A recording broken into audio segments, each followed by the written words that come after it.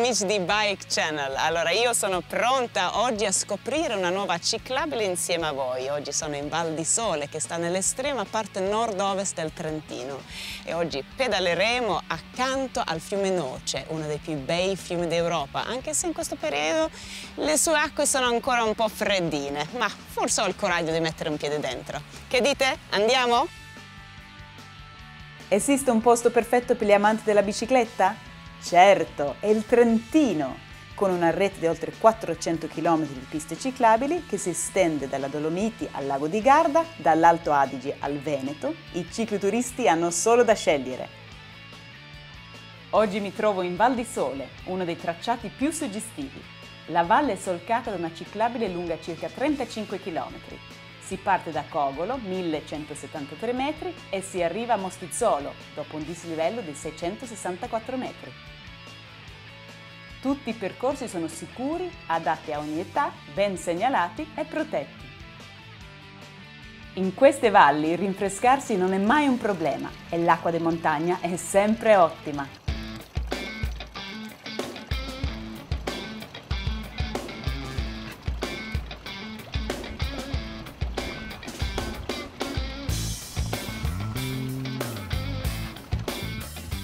Il primo tratto del mio giro oggi parte dalla splendida Val di Peio, immersa in un ambiente completamente naturale e incontaminato. Il tratto Cogolo-Ossana è lungo 7 km con circa 200 metri di dislivello e sui rilievi più alti si possono ancora ammirare le cime innevate del Parco Nazionale dello Stelvio. La ciclabile ricalca il tracciato di antiche strade di collegamento tra le antiche borgate o di strade arginali di campagna. Il percorso non è impegnativo e gli alberi che lo circondano lo rendono piacevolmente ombreggiato e fresco, anche nei giorni più caldi. Un caratteristico ponte di legno orlato di gerani mi porta nel centro storico di Pellizzano, 937 metri di quota. La chiesa gotico-rinascimentale di Pellizzano, dedicata alla Navità di Maria, rappresenta l'edificio sacro di maggior pregio dell'intera Val di Sole e la leggenda vuole che fu Carlo Magno a costruirla.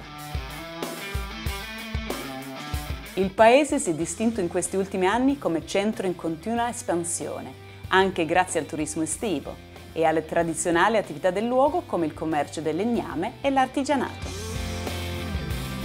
Lungo la ciclabile della Val di Sole ci sono diversi servizi creati ad hoc per i ciclisti come i bici grill e gli internet point, che offrono ristoro e assistenza agli amanti delle due ruote.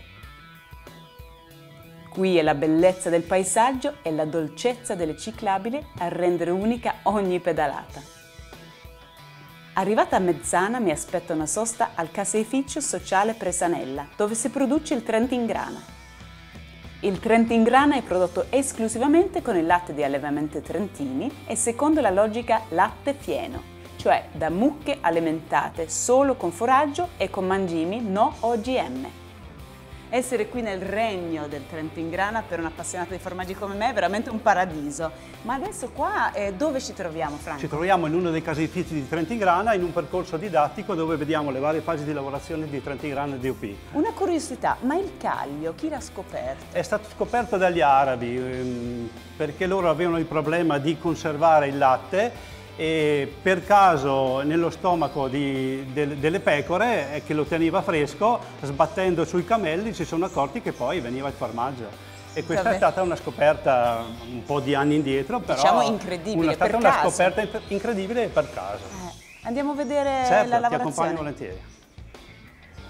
Franco, qua cosa succede? Allora, qua nei paglioli di rame abbiamo la cagliata cotta che si è depositata in fondo e i casari stanno levando la cagliata. Ma quanti litri di latte allora, servono per un chilo di grana? Abbiamo 10 quintali di latte, ecco, che si trasformano in una forma che viene tagliata in due, le forme sono sempre gemelle.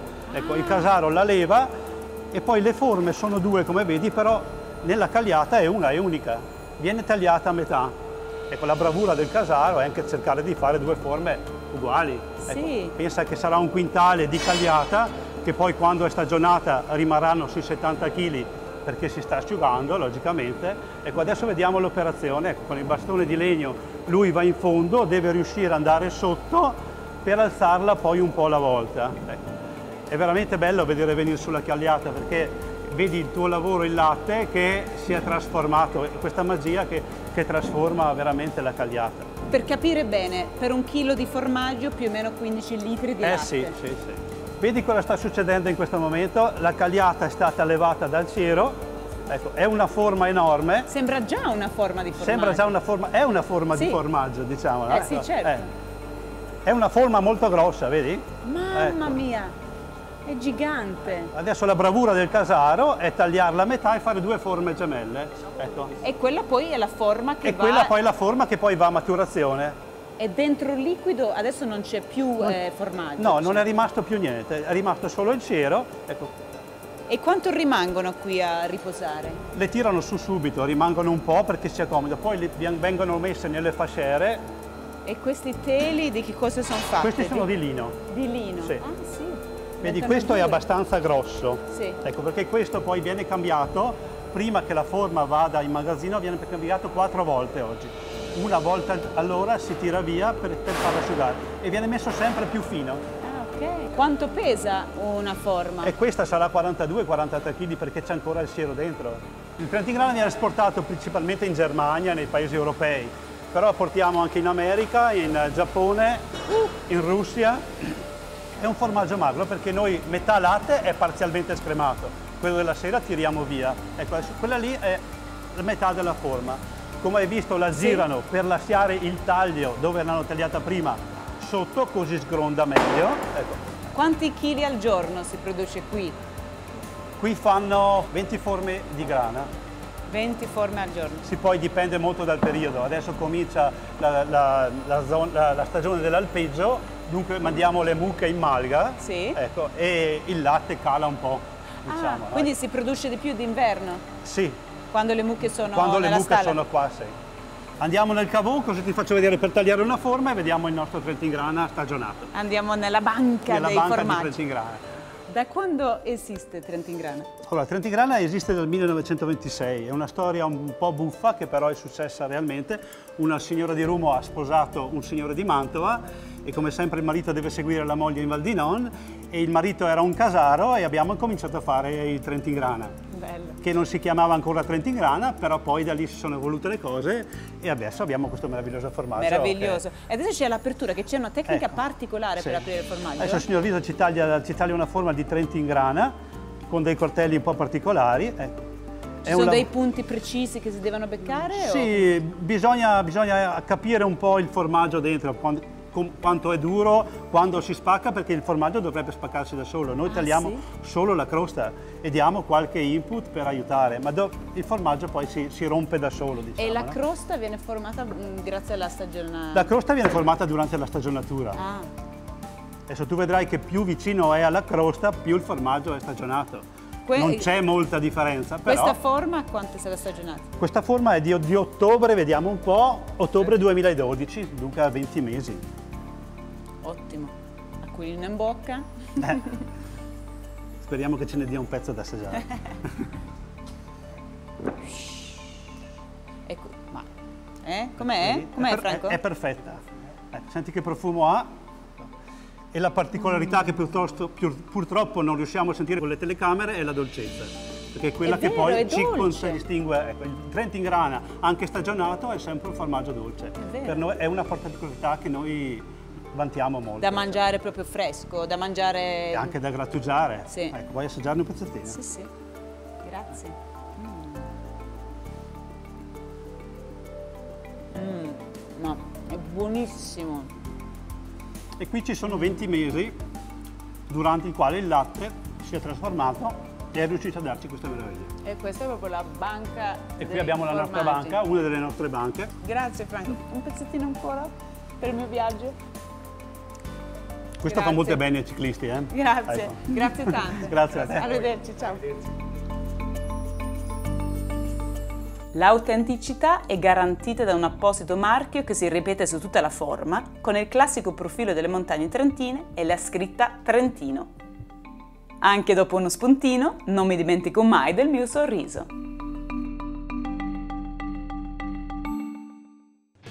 È ora di tornare in sella, la pista ciclabile mi aspetta.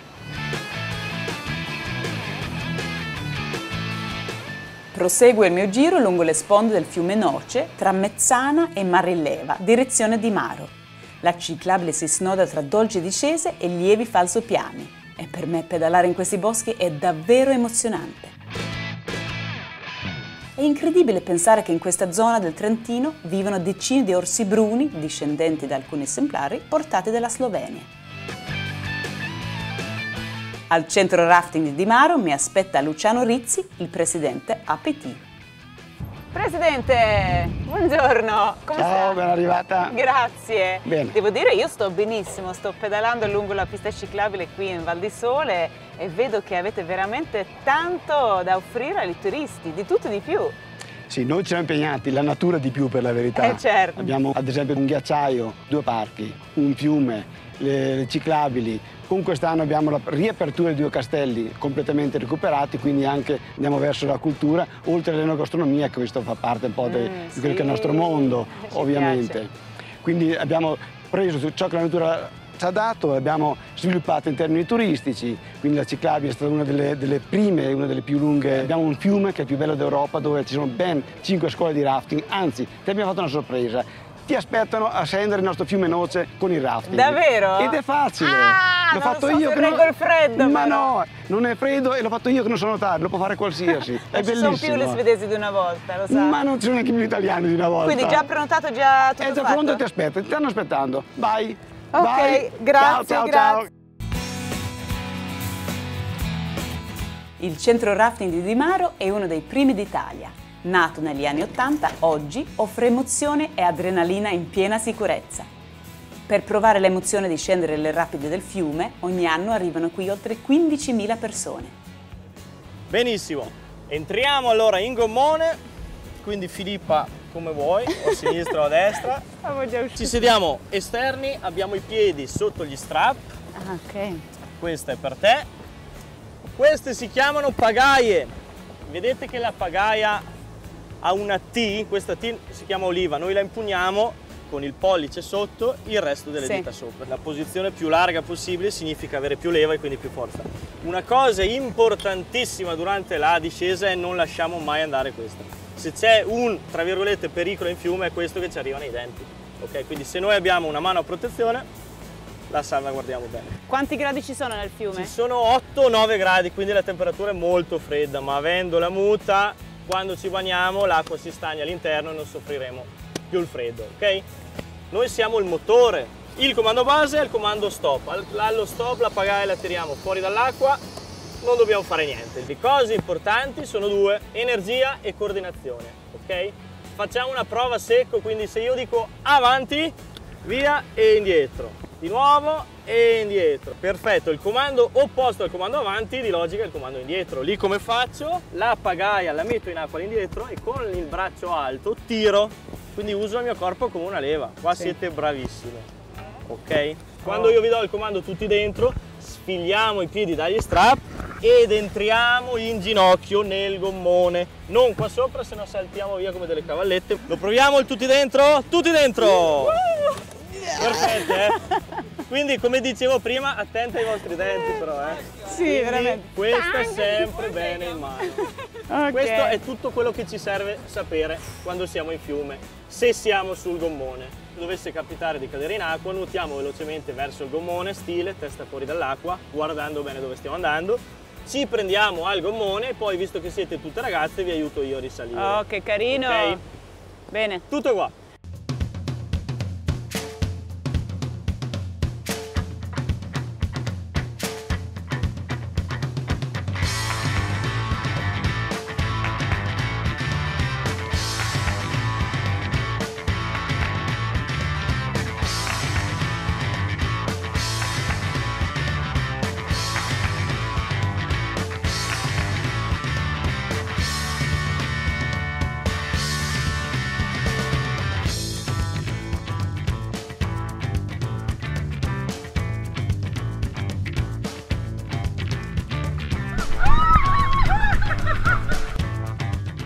Fiume Noce è stato eletto dal National Geographic come miglior fiume d'Europa per il rafting e si piazza al nono posto del mondo prima del mitico Zambesi. Fino a qui niente male.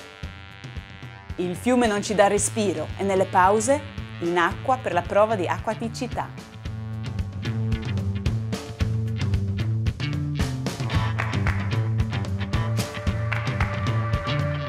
Ed eccoci ancora nel nostro rodeo per domare le rapide. I percorsi di rafting si snodano per un tratto di circa 25 km.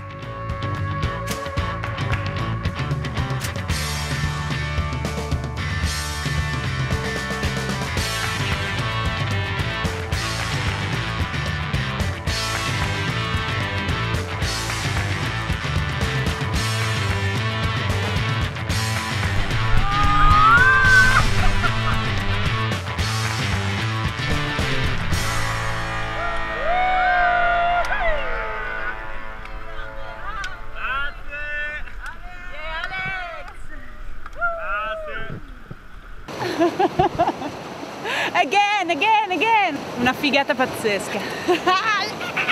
È come stare su, in un Luna Park, su un uh, roller coaster, veramente è un'emozione incredibile.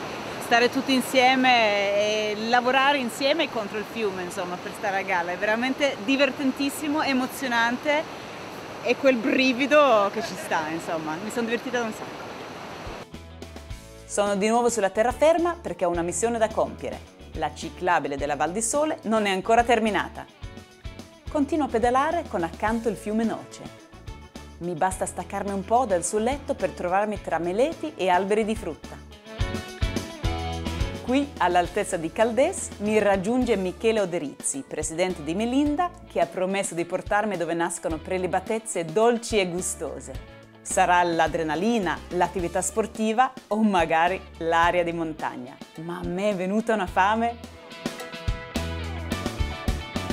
Peccato che le mele maturino solo a fine estate.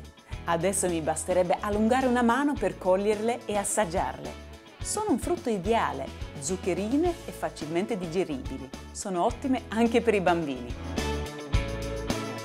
Se potessi adesso me ne farei una scorpacciata.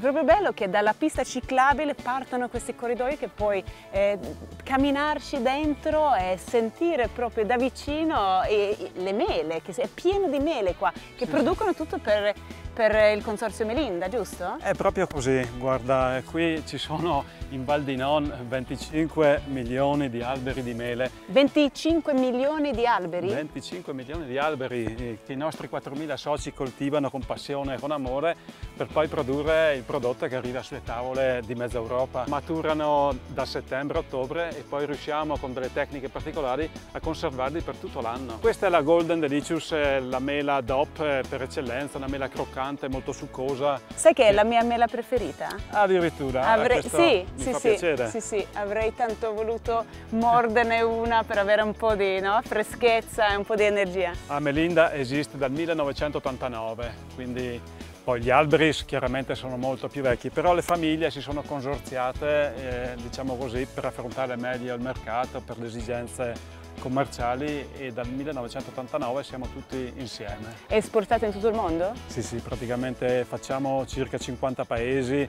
dal Nord Africa agli Emirati Arabi, piuttosto che tutta Europa, insomma. Come vengono raccolte le mele? Pensa, non ci crederai, ma tutte ad una ad una, necessariamente, strettamente a mano. Ma queste signore chi sono? Sono dei nostri soci Buongiorno. produttori di ciliegie. Buongiorno, buongiorno. Ma perché da adesso fate anche ciliegie? Sì, sì, da quest'anno commercializziamo anche delle stupende ciliegie, come vedi. Da questa zona? Da questa zona, Val di None e Val di Sole. Raccolta apposta per voi. Ma che carino, grazie. Mm, oh, mm, mm.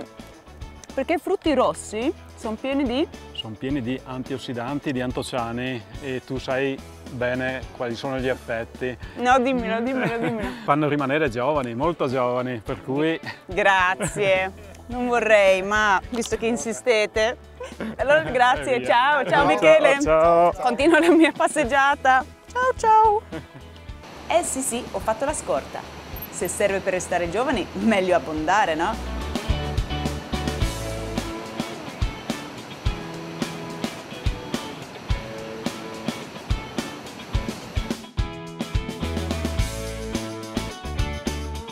Proseguo in sella alla mia mountain bike da Caldes in direzione Mostizzolo, per poi rientrare al mio hotel che fa parte del circuito Vitanova Trentino Wellness, il modo migliore per chiudere la giornata.